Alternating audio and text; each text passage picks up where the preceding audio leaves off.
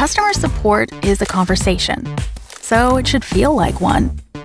Messaging meets customers wherever they are, wherever they go, on whatever they use.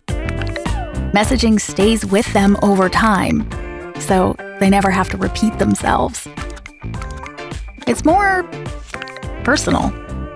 Messaging lets agents focus on the complex stuff by letting the bots handle the easy stuff. Richer customer conversations, stronger human relationships. Zendesk Messaging